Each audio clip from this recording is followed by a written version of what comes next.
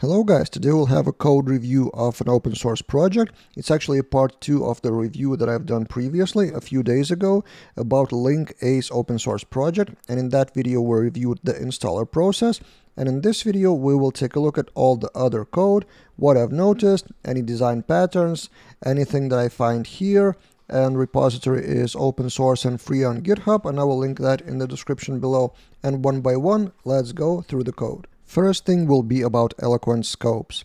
If I land on dashboard here, I land on dashboard controller and method index. And in the index there are a lot of things fetched from the database, so links, tags, link lists, and other counts. And here we see an interesting thing called by user. What is by user? It's a method inside of the model of link and it is a scope. So if we look for scope by user, here it is would just add query where of user ID. It's quite convenient to query the user whenever you need, but there are two things I would improve here. First, you see by user is repeated all over the place and auth user ID can be done shorter. So instead of auth user ID, there is a shorter way, auth ID, but ID as a method. So everywhere here I would do auth ID. And then in that by user scope, I would actually do a default behavior. So user ID may be null by default. And then if is null user ID, then user ID equals auth ID. Actually, one more condition. So if the user ID is null and auth check, then we have user ID set by default. Okay, my PHP Storm doesn't like my null in uppercase, so I will change that one. And also I need to update the PHP comment to int null.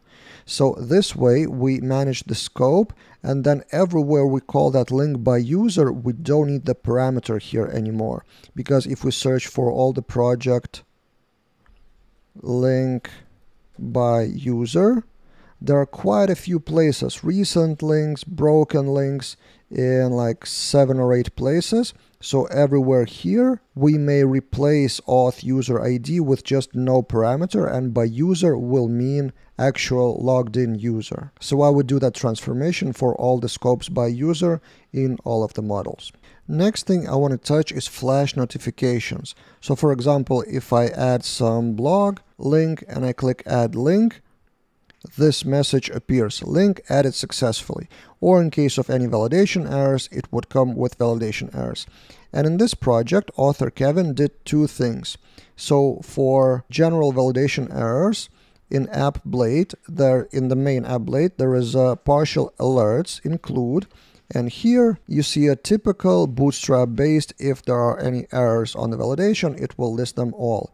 But also there's include flash message. And what is that if you take a look at Composer JSON, this is an example of a package which is really old but stood the test of time and still is being used. It is Laracast Flash.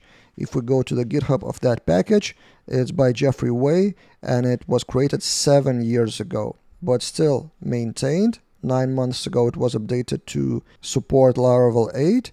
So all you need to do to have that flash messages anywhere in your controller, like in link controller, you flash any message you want with level of success and also you may add more messages.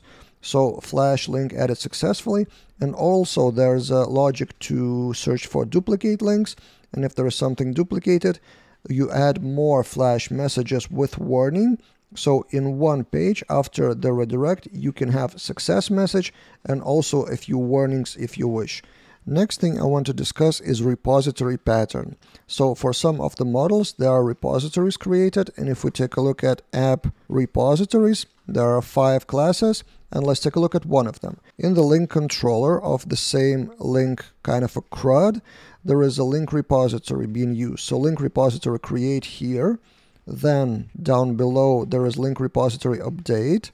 And in destroy, there is link repository delete. So what's inside? Let's go to that repository.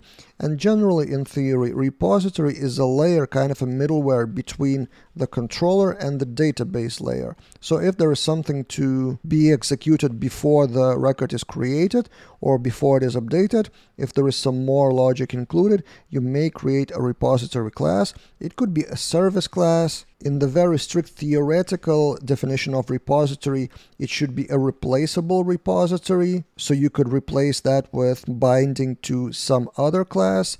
So in this case, it's not the strict thing of repository because it just replaces the create method of Eloquent with some more logic. And look what we have here. Some filling the data with getting the information from the URL. If there is a link with that URL, and only then inside of that method we have link create, also processing some taxonomies, also initiating some backup and returning the link. So in this case, I wouldn't call it strictly the repository, but it's kind of like a link service. Maybe it would be a better name. Update method is a bit shorter and then delete method. And we will stop on that in a minute. It's just deleting the link, but soft deleting that. If we click here, there's soft deletes enabled and there is a concept of trash and there is a separate trash repository. So let's take a look at that next. Let's try to delete that link and it's deleted successfully. But also there's a link on the top right to go to trash. So there's one trash for all the models of links, lists, tags, and nodes, and you can clear the trash for each of them. So let's go to trash controller. There is an app trash controller, and in the index, we get only trashed. Again, by user. Again, I would replace that as I said in the very beginning. So we go to that view, and then if we want to delete something, delete the trash, so clear the trash. There is a trash repository that accepts the model to be deleted. And let's go to that trash repository. There is a static function delete. And then you have switch. If it's a link, we delete the link we get only trashed again by user because it's kind of like a multi-tenancy. You can access only your links of your user. And then switch case, you force delete one of those set of records with for each force delete. So it's another interesting concept of general repository. There's also a restore method which does really similar thing with switch case and then at the bottom restores the entry, one entry. So for example, I can probably click here and it would be restored. Yep, so the trash is cleared and if I go to all links or on the dashboard, I have that link back restored.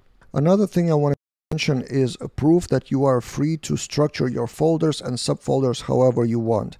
So author Kevin structured the controllers into a separate subfolder of models. There are four main entities or concepts in this project. It's link, list, node, and tag. And each of them has their own controller into a models subfolder.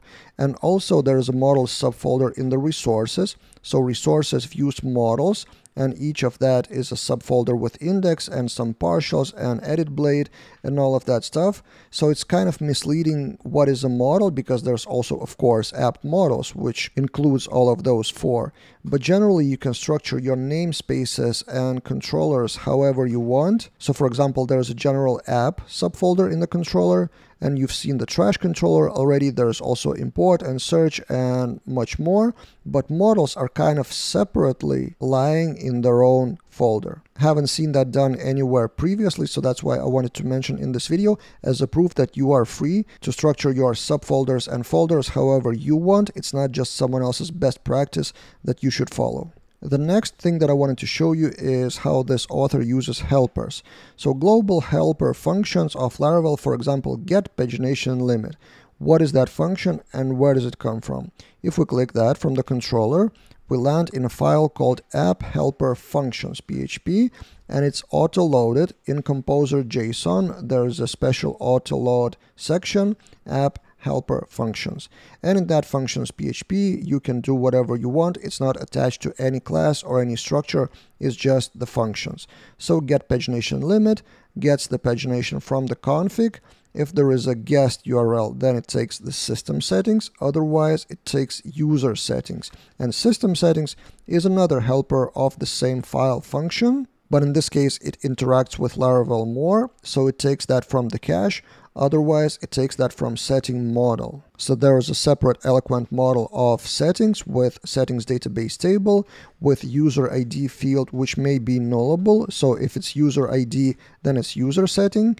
If user ID is null, then it's a global system setting. But generally, this is the way how to use global helper with functions PHP, or you may call it helper PHP, and then auto-load that in the composer JSON. Another package that I wanted to show you is called revisionable. So to show the history of any model, in this case it's a link, and there is a package called revisionable, this one, VentureCraft revisionable. And what it does it's saving the changes of any model in this database table revisions and then you can show them pretty easily. If you add revisionable trait to your model that's basically all you need to do for saving the revisions and then in the link controller show for example you can take the history from link revision history and then in the show blade you just have history as array and then show that however we want. Here Kevin used some blade components for icons and for links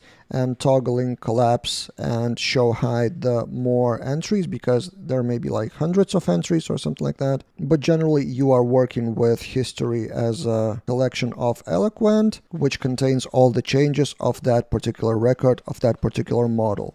Another small thing I've noticed in the link controller in some custom methods like update check toggle or mark working is how to make it shorter to avoid save on Eloquent model if you use fillables. So instead of having check disabled assigned and then clicking saved, you can do link update and then you have array of check disabled equals that value and then you close that array and you don't need to click save at all. So that is one line instead of two lines and similar here. Link update status equals status OK, close the array, close the function, delete the save. So one line instead of two, but for that to work in the link model, you need to have those as fillables, fillable array. And interestingly, in the link repository, in the other function of update, the author uses the update function of array of data instead of assigning the variables. So I just wanted to mention that if any of you uses the assigning the properties and then clicking save, it may be done shorter with update of Eloquent. So that's all the interesting parts that I wanted to review in this video about LinkAce. The repository is public on GitHub and maybe if you notice something else that I should discuss some pattern or some function that I didn't mention, then shoot in the comments below and maybe I will shoot part 3 about LinkAce or specific function topic video about some specific topic that is used in this repository. So be active in the comments. And also I have more code reviews upcoming because on Twitter I asked you for ideas what to review and I have at least five repositories to review. So subscribe to the channel to get notified of new reviews of both junior code and more professional coders like Kevin in this case. And let's all learn from practical examples, from practical real applications, I believe it's the best way to learn. If you believe that too, and if you want to support my mission of daily videos on YouTube, you can check out one of the three products that you can see now on the screen. One of my teachable courses, our Quick Admin Panel Generator, or set of Livewire components at Livewire Kit, and see you guys in other videos.